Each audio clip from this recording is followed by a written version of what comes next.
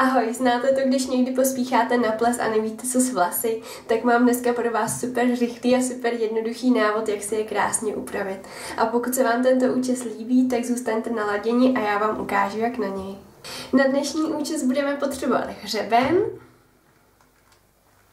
Dále nějakou gumičku vlasovou a snažte se, aby byla v barvě vašich vlasů, ale já schválně budu používat zlato, abyste to všechno lépe viděli.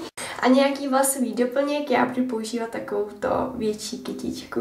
Jako první krok si rozčište vlasy, abyste je neměli zacuchané a já se posléze otočím zády, abyste to všechno lépe viděli. A nebudu asi moc mluvit, protože byste mě stejně neslyšeli, ale věc, co budeme dělat, je, že si uděláme culík, když ho budeme provlékat na potřetí, tak ho provlékneme jenom na půl, zbytek vlasů otočíme okolo toho zbytku culíku a provlékneme vlastně do takové dírky, ale to snad všechno uvidíte, takže Buď si udělejte pěšinku, jak chcete, můžete ji mít na straně, anebo vlasy zčesat dozadu.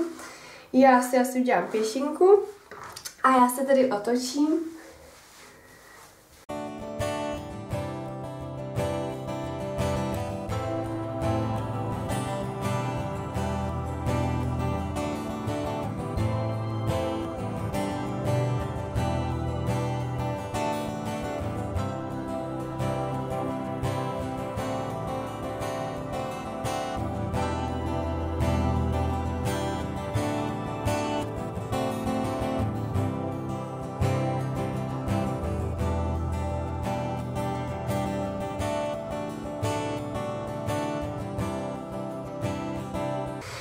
Tak doufám, že jste to všechno viděli, jak to probíhalo.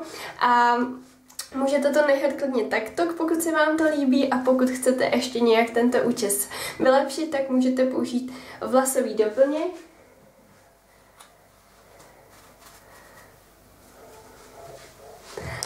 a je to hotové. Doufám, že se vám to líbilo, je to opravdu jednoduché, takže pokud třeba jdete na ples a opravdu pospícháte a nevíte, co s vlasy, tak určitě doporučuji toto a pokud jdete zrovna na ples, tak vám přeju, ať si ho užijete a přeju krásný den.